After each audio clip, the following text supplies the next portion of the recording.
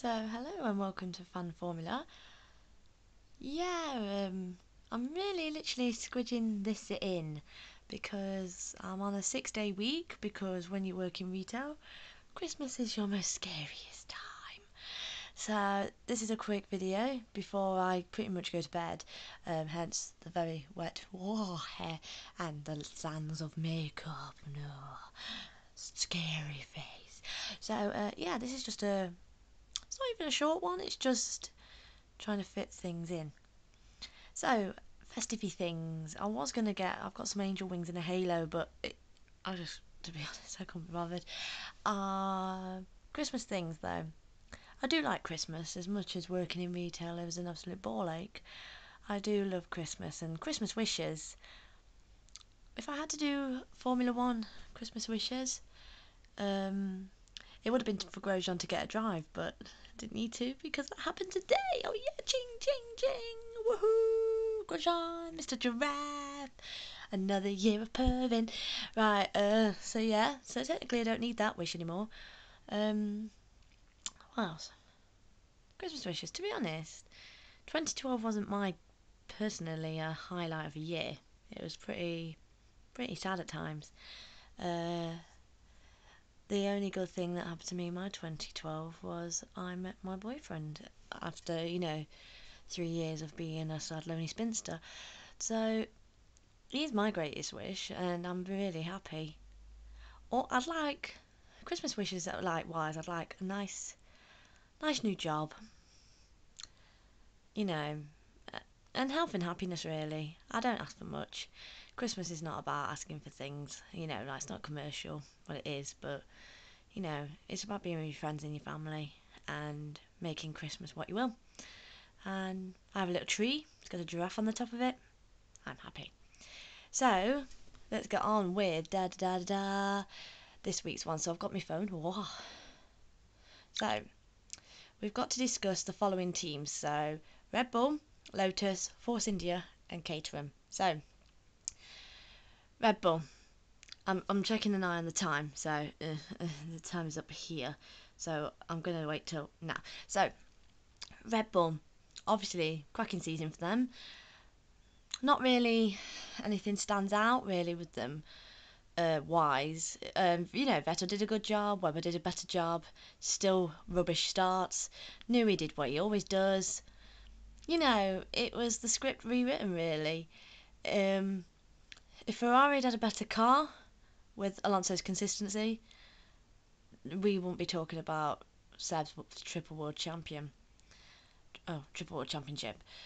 Um, I don't know. I can never put my finger on Red Bull why I don't like them because I should, because they're meant to be a bit more fun and you know sassy, and I don't know. I can't figure out why. It was nice to see Mark Webber get a few wins, especially in uh, Monaco and other places I can't remember. I'm very tired. Um, you know, and Seb showed that he could overtake, and you know, from the beginning of the season he had to struggle. So I think a job well done, really, for them too. Uh, Lo, is it Lotus next? Lotus. My one of my personal highlights is the whole team. I love Grosjean, and yes, he's made quite a few mistakes, but it's only second season and it's his first season in the car. There's room for improvement, yes, but I think it's going to be good. Raikkonen, it's lovely to see him come, not even come out of his shell, but just be back to the same old Kimi we loved so dearly back in the day.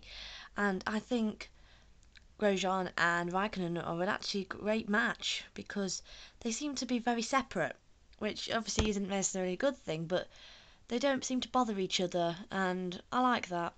Raikkonen, obviously, losing his way at Brazil was one of my favourite, favourite moments. And to be honest, Lotus on Twitter as well and on Instagram and stuff, probably one of the best social for socialising with the fans, probably all year. Um, Virgin, when it used to be obviously not Marussia and it was Virgin, were very, very good at communicating with their fans. But Lotus have took one step further this year and they've been amazing and they've been witty, funny, and even though it's the off season, they're still keeping us up to date, still tweeting, and it's lovely to see. Whereas some of the other teams have just disappeared into the abyss. I think it's Force India next. Oh, poor Vista.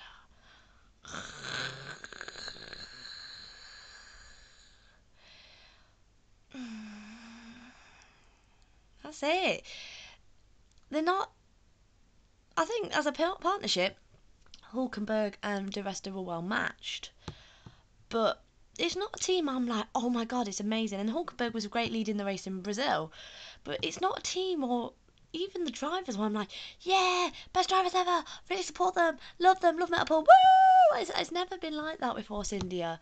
I've just always, yeah, they're very meh that's the only way I could describe it. They're just a meh team, and it's horrible to say, but I don't know. It's nice to see their, you know, performances improve because they're not exactly a massive, massive team.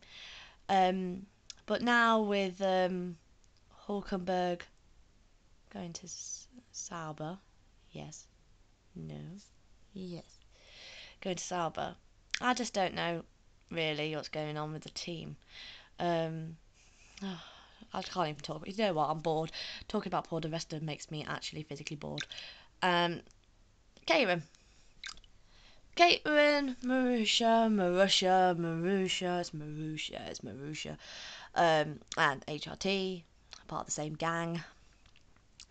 Caterham's car I loved this year. I thought it was beautifully, out of all the ones with the dip nose, I thought it was the most beautifully designed.